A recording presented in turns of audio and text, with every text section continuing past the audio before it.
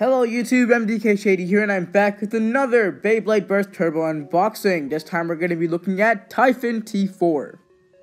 Alright, so let's look at the box of Typhon T4. So here we got the graphic, Typhon T4 right there, Beyblade Burst Turbo, the logo, and the parts right there, and the launcher.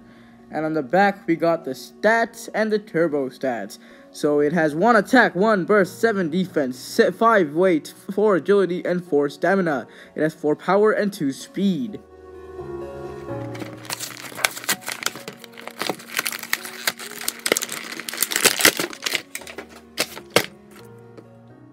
Alright, so since this Beyblade does not have a TT counterpart, we're just going to be looking at its parts right out of the box. So first off, we're going to be looking at Defense-S. And my one came in Slingshot mode, I guess, so I'm to have to undo it. Now, defense dash S, in my opinion, doesn't have as much stamina as a normal defense, mainly because it's so tiny, the little point.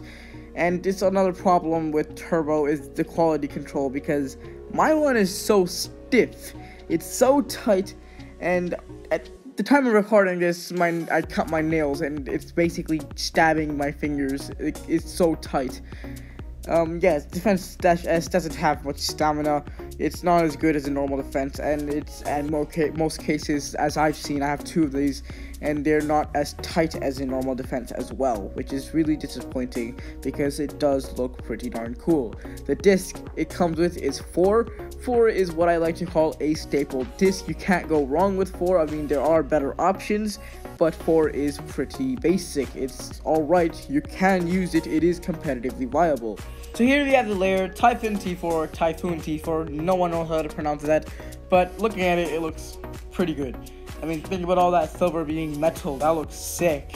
Now my one, it has this little paint damage right here out of the box. Hasbro, come on, quality control.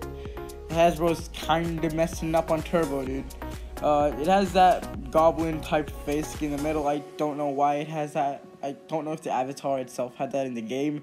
And here is uh, the QR code for those who want it. And on the back, it is very hollow, just like Sphinx. Now on the sides, we don't get that full metal metallic paint illusion. It's just clear. It doesn't look nice on the side.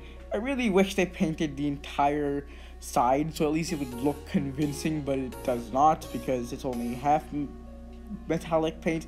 What would that mean? Like half metal, which probably wouldn't be as good as Dead Hades, but okay. Now, on the the purple layer itself, not the top layer, it's very jagged, and I feel like uh, that would cause it to burst a lot more easily. But uh, yeah, like those little points right there. And uh, the gap in the middle may also contribute to the Beyblade's weakness. But let's find out how tight this is, and um, it's tight going in, and it's okay coming out. So it's like pretty basic slopes right here. Um, I'd say it's more than Rain Fafnir, but I would also say it's also above Emperor Forneus, that's for sure. It's underneath Sphinx, that's uh, given from what I can tell right now. It is alright, it's above Emperor Forneus, so I think that's alright. But since Emperor Forneus were pretty good. Anyway, now I would normally tell you to get this if you want the Hasbro exclusive experience, but Diomedes has Defense S and it's a usable layer in Burst Classic, so there's more value in Diomedes. So get Diomedes.